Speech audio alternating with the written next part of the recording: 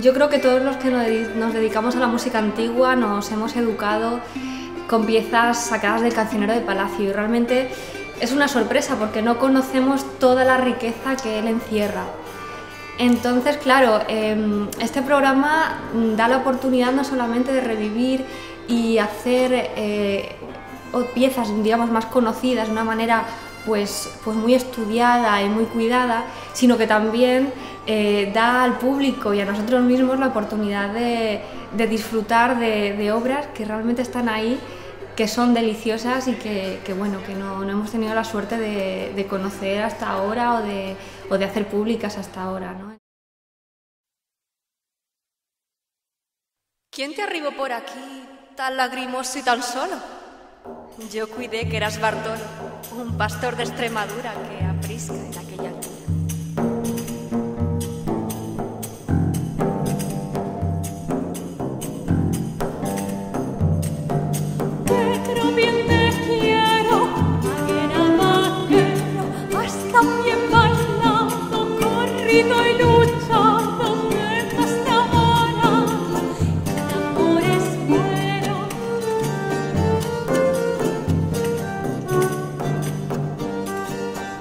Música que cuando habla de, del amor lo hace con un lenguaje extremadamente moderno, diría yo.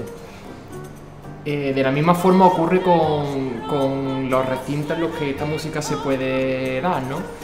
Yo creo que es una música que se puede interpretar desde una sala histórica a cualquier tipo de, de auditorio.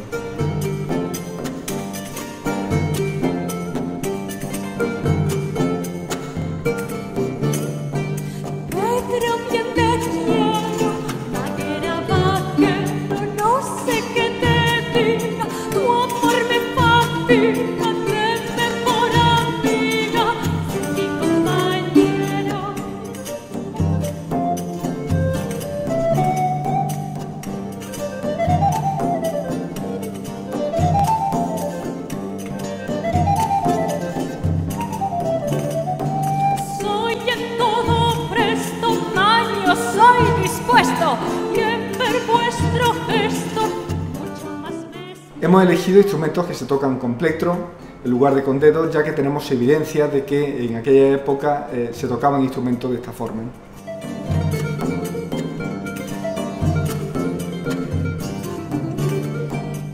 Para realizar este repertorio hemos optado por instrumentos como la viola, la guitarra renacentista, la vihuela, la bandurria, el rael bajo, el colachón, que es un instrumento poco conocido en, en este repertorio en España, diversas flautarretas y diversos instrumentos de percusión.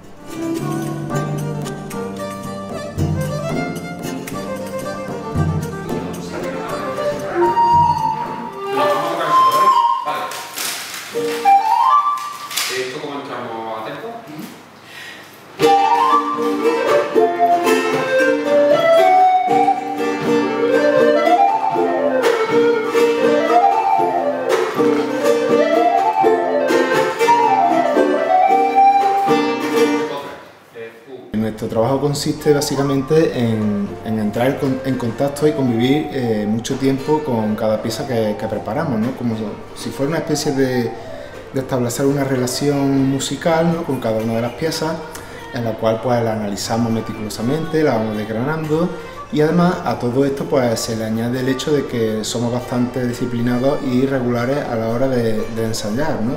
semanalmente, incluso aumentando la dosis de ensayo cuando la cantidad de conciertos, de preparación para un disco y demás, pues así lo requiere. Durante la época de los Reyes Católicos se dio un fenómeno eh, muy interesante tanto en la poesía como en la música, que es la fascinación que los poetas y músicos cultos sienten por lo popular, por las canciones populares, por los romances eh, que se dan en, ambientes eh, humildes. Pero esa fascinación no les hace directamente reproducir eh, esas canciones o esos romances, sino adaptarlos a el contexto palaciego en el que van a reproducirse.